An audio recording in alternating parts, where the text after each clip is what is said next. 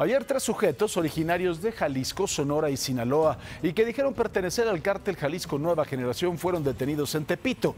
Fueron descubiertos cuando repartían muestras de marihuana. Trataron de darse la fuga y no lo consiguieron. Ofrecieron 300 mil pesos a los policías para quedar en libertad. Finalmente los tres sujetos fueron remitidos a la Fiscalía Central para la investigación de delitos de narcomenudeo. Imagen Noticias con Paco Sea, lunes a viernes 5.50 AM. Participa en Imagen Televisión.